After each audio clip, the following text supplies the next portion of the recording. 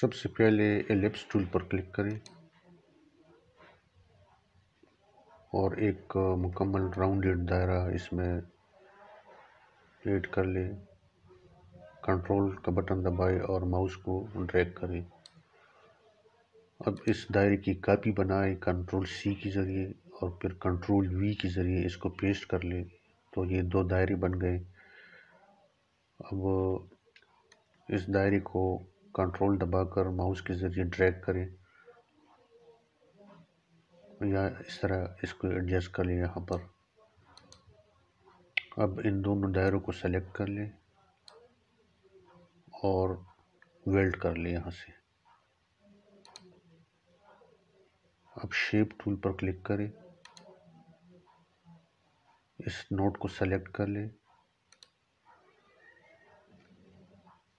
ये symmetrical note option पर click करें। ये थोड़ा स्मूथ हो गया है। अब इन तीन नोट्स को सेलेक्ट कर ले। माउस ड्रैग कर ले और इनको सेलेक्ट कर ले। और डाउन एरो की के ज़रिए इनको एडजस्ट कर ले। ये शेप की जो है ना, एक सेब या एप्पल का एक शेप हमें मिल गया है। अब हम इस एप्पल पर कुछ इफ़ेक्ट्स अप्लाई करेंगे। शेप हमने बना लिया है। तो सबसे पहले आप ये आर्टिस्टिक मीडिया टूल पर क्लिक करें। ये प्रॉपर्टी सेलेक्ट कर लें यहाँ से प्रीसेट और इस ऑप्शन को आप सेलेक्ट करें और इसको फिर ड्रैग कर लें। एक लाइन बनाएँ।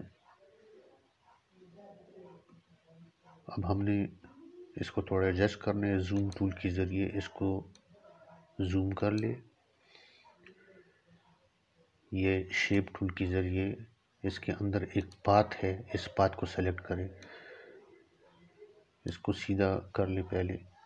अब इन हैंडल्स के ज़रिए हमने इसको एडजस्ट करना है। इस तरह इन हैंडल के ज़रिए हम इसको एडजस्ट करेंगे। अपने रिक्वायरमेंट के मुताबिक।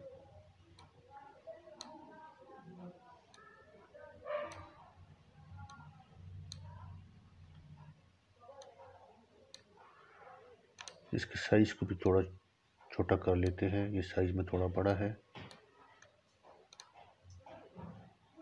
ये तकरीबन आलमोस्ट ये ठीक है। थोड़ा सा इसको हम और एडजस्ट करते हैं।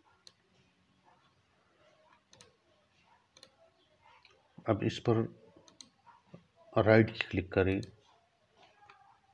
और ये ब्रेक जो है, ये वाला ऑप्शन अप्लाई करें ब्रेक का टेस्टिक मीडिया अब इससे पाथ को अलग कर ले और डिलीट कर ले। अब हमने इसको इस एप्पल पर अप्लाई करना है। एफ़ फोर से जूम कर ले।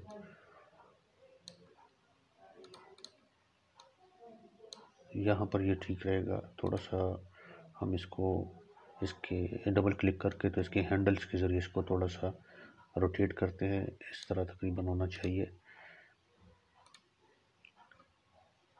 इसमें वाइट कलर फिल करें और इसके आउटलाइन को ब्लैक कलर दे दें। यह आ गया। अब इसी को जो है ना नीचे हम कॉपी करते हैं थोड़ा सा इसको एडजस्ट करेंगे, थोड़ा बड़ा करेंगे।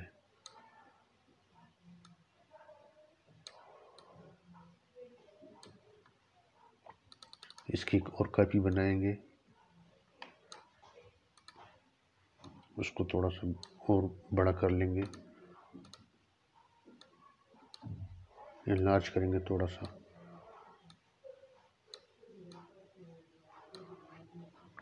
ये तीन इसके जो है हमने बना ली है। अब इन तीनों को शिफ्ट के ज़रिए सेलेक्ट करके ग्रुप कर ले। राइट की क्लिक कर ले और फिर ग्रुप करें। कॉपी करें कंट्रोल सी से और पेस्ट कर ले कंट्रोल वी से और यहाँ से इसको मेरा हॉरिजेंटली कर ले। यहाँ ले आए इसको। इनकी पोजीशन को थोड़ा सा हमने अभी चेंज करना है। ये इस तरह आ जाएँगे। थोड़ा सा हम इनको इनलार्ज भी करेंगे।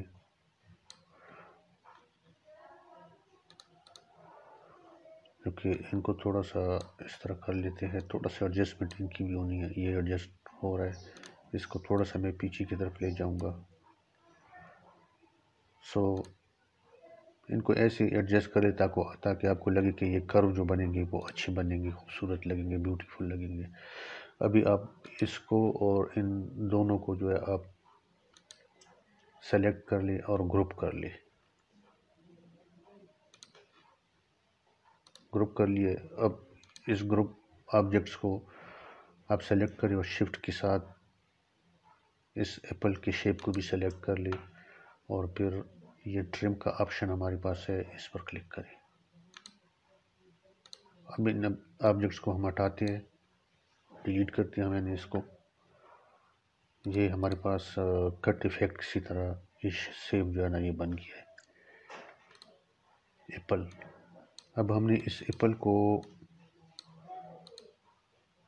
थ्री डी शेप देना ये जो कर्ज हैं, इनको हम थोड़ा थ्री डी शेप में लाना चाहते हैं। तो थोड़ा जूम करते हैं। ये फ्री हैंड टूल से आप क्लिक करें इस पर और यहाँ यहाँ से ऐसे लाइन ड्रा कर ले तो ये खुद ब खुद थ्री डी शेप में कन्वर्ट होना शुरू हो जाएगा।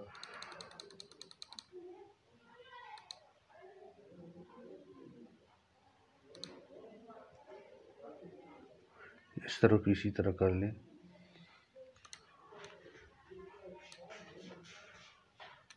इधर अगर हम ऊपर से इसको लाइन को ड्रा करें तो ये कुछ को थोड़ा सा और इफ़ेक्ट देगा।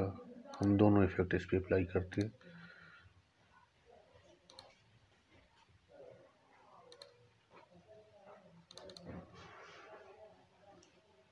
अब ये तकरीबन आपको नज़र आ रहा है कि ये ये ऊपर से थ्री टैप लग रहा और ये नीचे से रहा अब हमने स्मार्ट फिल टूल के ज़रिए इसमें कलर फिल करना है।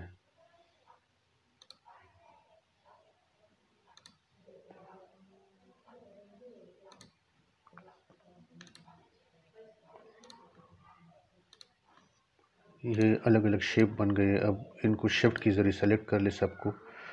क्लिक करें और शिफ्ट के ज़रिए साथ साथ क्लिक करते जाए इन पे और ये सेलेक्ट होते जाएँगे। ये सारे सेलेक्ट हो गए। अब इनको ग्रुप कर ले। कंट्रोल जी के ज़रिए इनको ग्रुप कर ले और कंट्रोल एक्स के ज़रिए हमने इनको थोड़ा इधर से वक्ती तौर पे हम यहाँ से इनको काटते हमने ये वाले जो एक्स्ट्रा बी लाइन रह गई है, इनको हटाना है।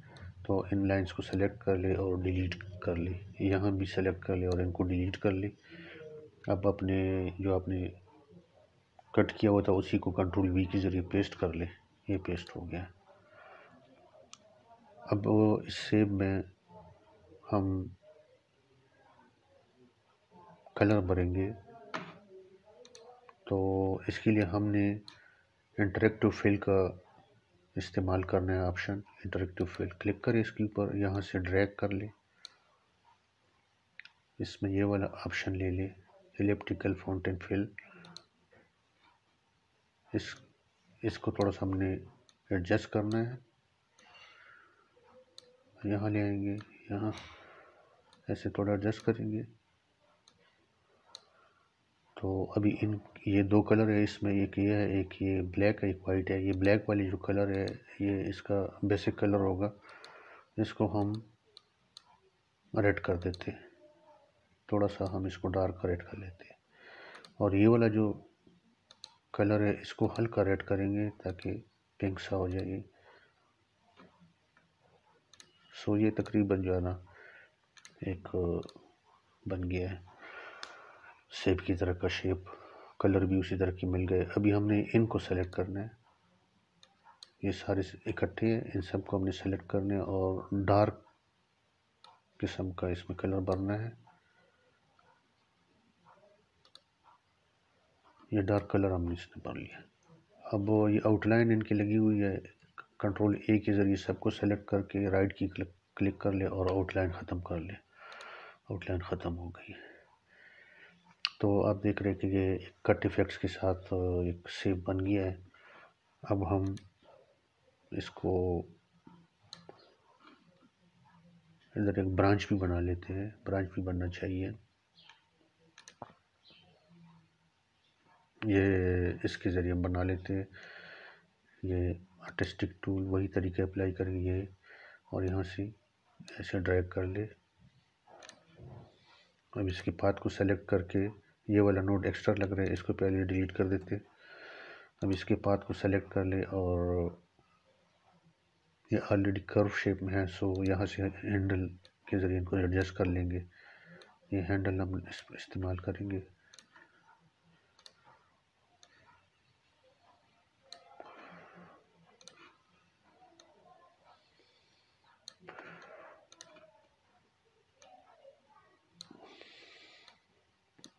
हम्म, ये तकरीबन ब्रांच का ब्रांच बन गया ये। थोड़ा सा इसको इस तरफ़ मूव कर लेंगे। अब इसमें ग्रीन कलर डाल देते हैं। डार्क ग्रीन हो गया, बहुत ज़्यादा थोड़ा सा हल्का कलर कर लेते हैं। ये। इसकी साइज़ को छोटा कर लेते हैं, थोड़ा सा एक और कॉपी इसकी बना लेते हैं। और ये जो कट्स है इनको हम येलो कलर लगा लेते हैं येलो येलो कलर इस्तेमाल करते हैं इसके ऊपर। सो so, ये आपके पास जो है ना एक कट इफ़ेक्ट्स में एक शेप बन गया। ये किसी भी शेप पे किसी भी शेप पे आप इसको इस्तेमाल कर सकते हैं। मैं अक्सर अपने ट्यूटोरियल में शेप ड्रा करके इस्तेमाल करता हूँ। उसकी वजह ये होती है कि शेप ड्रा करने में आसान होता है और आपके टाइम की बचत हो जाती है। तो अगर आपको ये ट्यूटोरियल पसंद आया हो तो बेल का बटन भी दबाए और सब्सक्राइब भी कर लिया लाइक भी कर ली वीडियो को। थैंक यू फॉर वॉचिंग खुदा हाफिज़।